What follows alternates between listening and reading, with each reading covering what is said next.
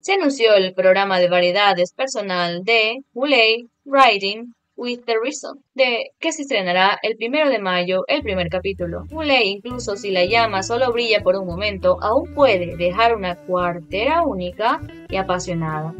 Se mostró un avance en el cual Woolley admiraba la erupción de un volcán. Riding is Reasonable está programado para transmitirse el 1 de mayo ley para escuchar de cerca el impactante rugido del volcán activo, alcance y vea los fuegos artificiales más hermosos.